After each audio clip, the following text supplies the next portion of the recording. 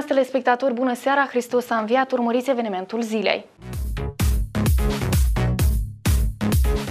Reprezentanții Comitetului Raional Soroc al Partidului Comuniștilor din Republica Moldova, care au depus ieri flori mai înainte de vreme la mitingul consacrat zilei în care s-a sfârșit cel de-al doilea război mondial, azi vin cu o precizare de ce au făcut-o. Faptul că acest lucru a fost difuzat în blocul de știri de ieri i-a nemulțumit. Ieri de 9 mai pe Piața Libertății a avut loc un miting consacrat zilei în care s-a sfârșit cel de-al doilea război mondial. Reprezentanții Partidului Comuniștilor, înainte de a fi încheiat mitingul, au depus flori la monument. Astăzi ei vin cu o lămurire de ce au făcut-o. Вчера мы посчитали неуместным э, то, что во время проведения торжественной части митинга э, было вставлено выступление моторизованной бригады, э, которое происходило под э, музыку реакционной немецкой группы «Рамштайн». Мы считаем это насмешкой над э, памятью о воинах погибших. Вот по этой причине мы и возложили цветы, не дожидаясь официального окончания митинга, но нам кажется, что память нельзя регламентировать, и каждый гражданин, проживающий в демократическом государстве, имеет право возложить цветы памятнику любому, в том числе и к памятнику воинам-освободителям города Сорока от немецко-фашистских оккупантов в любое время, удобное для него и в то время, которое он считает уместным. Спасибо.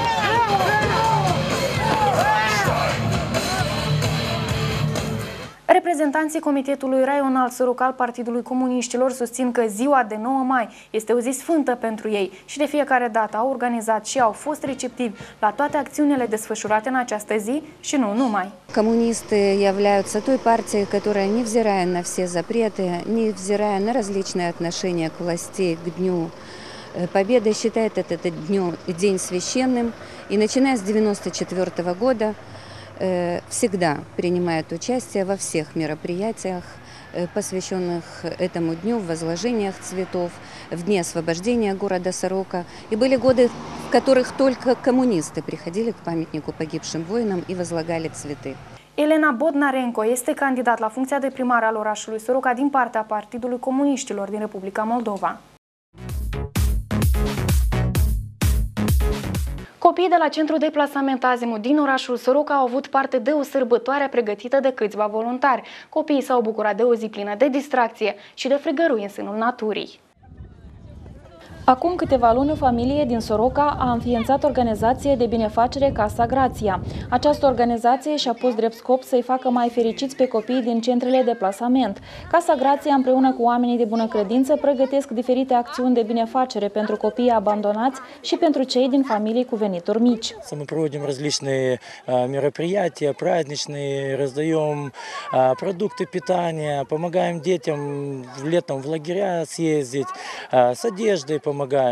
În această organizație activează 20 de voluntari care săptămânal vizitează copiii din centrele de plasament și se implică împreună în diferite activități. Am organizat un proiect de caritate pentru, perso- pentru copii mai trăiși ca noi, pentru uh, să colectăm hăinuțe, îmbrăcăminte uh, și diferite obiecte care pot să le fie de folos copiilor. La astăzi am, uh, am uh, organizat așa uh, mici, mici, uh, mici jocuri pentru copii și ne bucurăm foarte mult că le-am adus zâmbetul pe față. Noi, pe parcurs, credem că o să facem mai des așa aj- ajutoare, așa sărbători pentru copii, să iasă la, la, ju- la, ju- la jucat, să iasă, m, să, par- să participăm împreună, da? să ne jucăm împreună. De, de ce? Că ei sunt copii și copiii totdeauna vor să joace. Voluntarii de la Casa Grația au devenit prieteni buni ai Centrului de Plasament Azimut din Soroca. Centrul întreține acum 25 de copii cu vârstă între 2 și 16 ani. Pe parcursul unei zile, voluntarii au servit copiii cu frigărui, s-au jucat împreună și au cântat.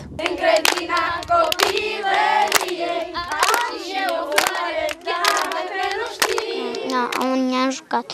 De rața împușcată, uh, de elefantul. Voluntarii vin la noi în fiecare vinere și ne jucăm cu ei. S-a întâmplat că mama a murit și tatăl nu și putea bine și m-a dus la centru și întâi nu vroiam, dar pe urmă ne-a stat ghini, mă și putea hrani, mă spală, mă hrănește, de ce nu, e ghini și mă bucur că să aici stau a ghini aici decât acasă. Familia Urasinov, fondatoarea organizației Casa Grație, cheamă toți oamenii de bună credință să ajute copiii care au nevoie de sprijinul societății.